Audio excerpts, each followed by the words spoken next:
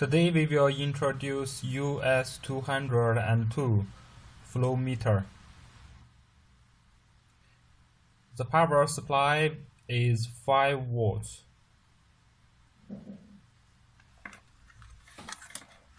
Now let's open the back cover.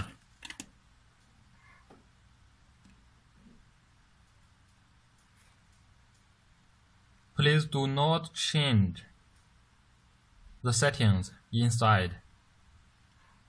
There are five cables. These two for power. These three for Hall flow sensor.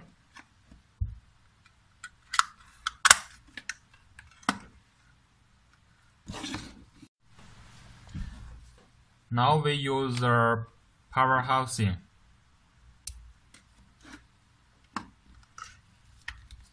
The power housing need three batteries.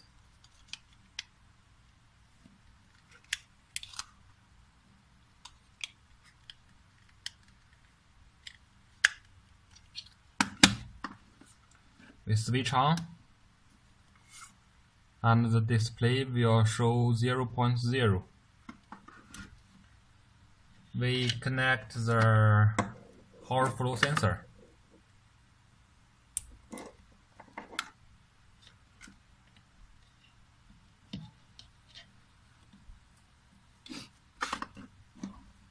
Now we start the pump.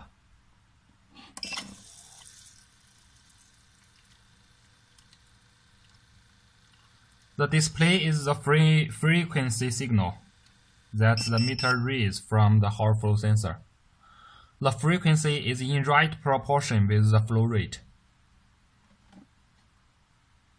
So you can calculate the flow rate in your mind.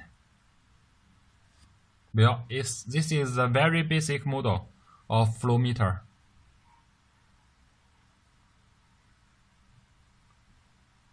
That's all for today. Thank you for your watching. Bye bye.